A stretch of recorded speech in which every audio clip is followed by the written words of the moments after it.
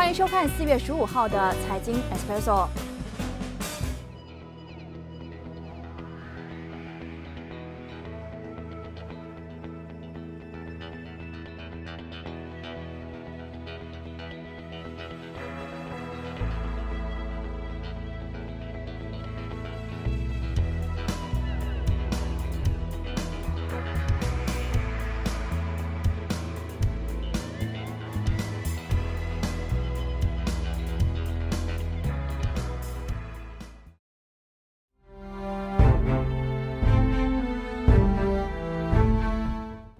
晚上好，我是维敏。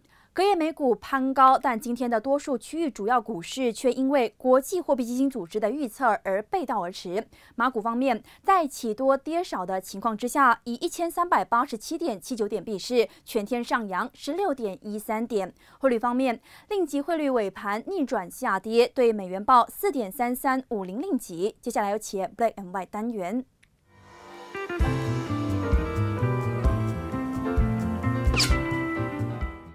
首先来关注国家石油的消息。这家国营能源巨擘宣布，将发售六十亿美元（大约两百六十亿令吉）的多批次高级债券，这是国有五年来首度在美元债券市场筹资。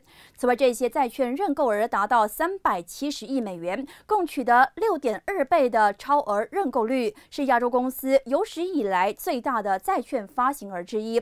国有计划将所得的款项用于再融资、资本支出和营运资金，作为正在进行审慎资本。管理行动的一部分。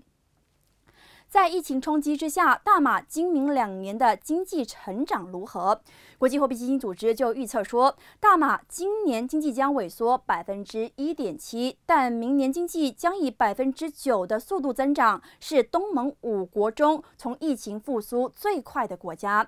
另外，IMF 对呢大马今年的预测也比国家银行的最长萎缩百分之二来的乐观。不过，IMF 提醒说，受疫情等等因素的影响，我国今年的失业率将攀升至百分之四点九，并在明年降回百分之三点四的水平。各大产油国达成减产协议，大马也不例外。